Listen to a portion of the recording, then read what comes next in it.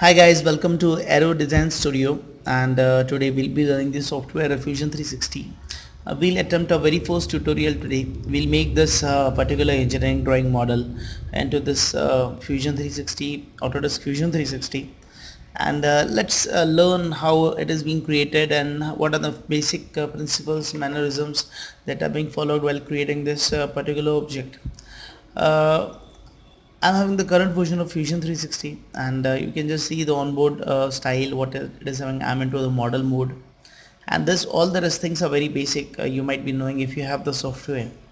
And uh, this is the object which is to be created in this Fusion 360 now before creating the object we'll just uh, do a summary like uh, what is to be created uh, this object uh, anytime whatever you make uh, whatever you model you just uh, split up into portions into operations. Like this object is split up into four different operations the base plate this complete thing and uh, I'll just um, I'll just this base plate then you can just see this is the back plate then this is the cylinder and this is the secondary cylinder.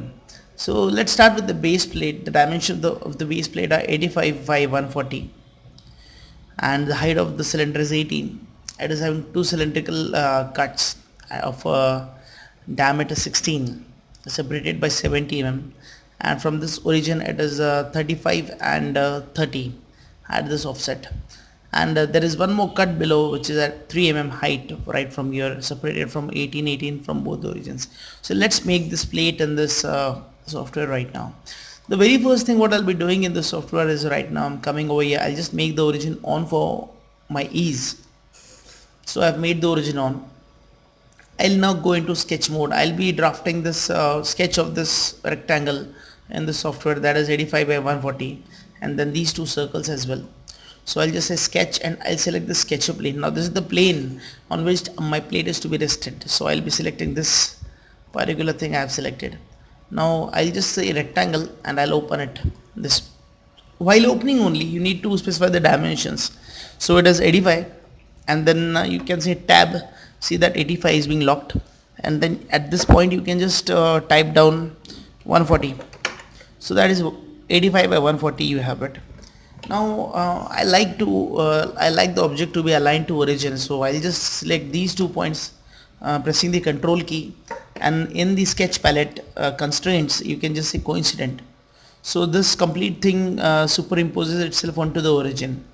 It's a good habit that you should start uh, right from the origin. So it's a good habit that uh, makes the assembly the future aspects the future perspectives of the product the model more easier.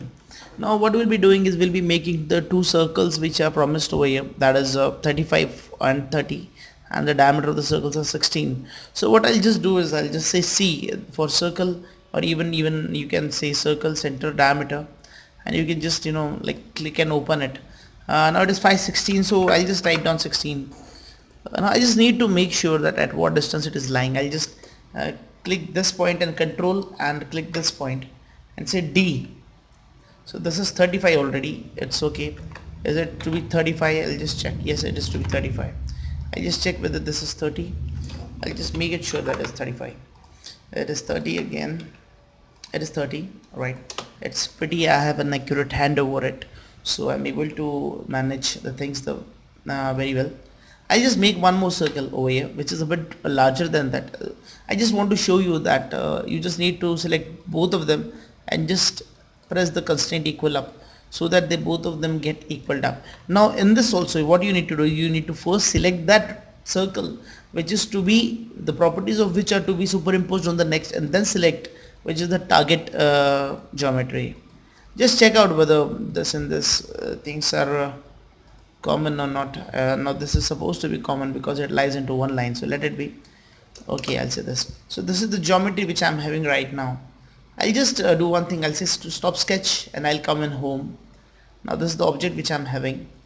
I'll just click it this way and I'll say create and uh, I'll just say extrude or even I can just you know like uh, click this region and say E and then type down as an 18 so the height 18 will be managed to this object right now. Now I'll just try to give this cut uh, which is uh, below the plate. Now what I'll do is I'll just say sketch I just you know orbit it by shift and middle mouse button and sketch and I'll just draft this as a sketch. And I'll make one simple line over here. I'll make one more simple line over here. Now I'll just manage the distances from this D. I'll just say this has to be 18 and this also has to be 18 so the things are done again. I'll say stop sketch. Again I have a base plate over here I just click it and say E and I'll just move uh, reverse minus 6 I'll take it as 6 so it's a cut of 6 mm right from below. Uh, and the drawing it is given 3 but let us take it as 6 because uh, 6 is a bit deep and is quite pretty noticeable. Uh, now let's make this plate. Uh, now what I'll do is I'll just make all the uh, sketches on this plane this back plane and then I'll keep on extruding them. So my work will be lessened up so what I'll do is I'll just select the sketching plane and I'll just press this one. Okay now according to the orientation of the object I'll just uh, make a circle over here and I'll just uh, place it over here. I'll just see D and uh, it is 40 and I'll make a line right from here to this point. I'll make this and uh, I'll just see D uh, no this point can okay no no issues. We can do one more thing. I can like uh, I can just make a circle right from here and then it is 40 so we have the circle placed over here. Again we'll make uh, one circle. This one. Now see this is uh, at a distance of 38 I just need to manage this distance again. So this is 38 and the line also is uh, quite attached to it.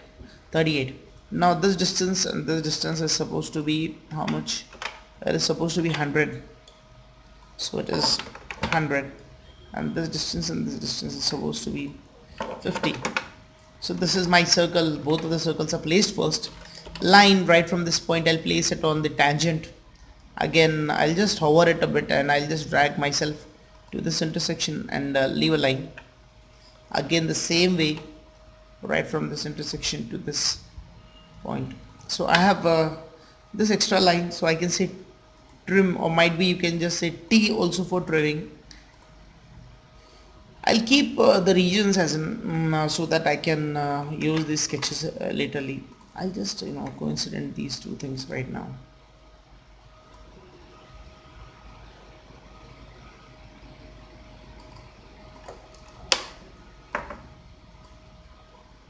Okay uh, circle. This is uh, I guess how much?